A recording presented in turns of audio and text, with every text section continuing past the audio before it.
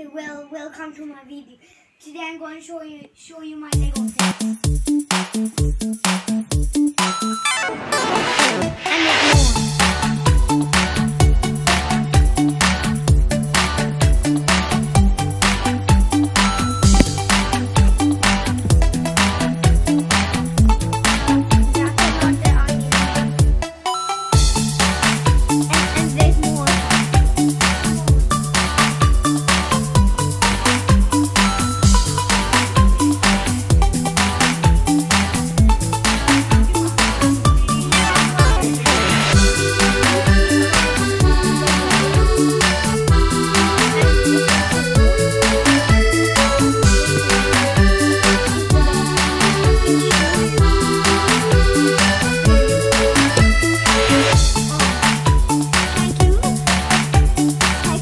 my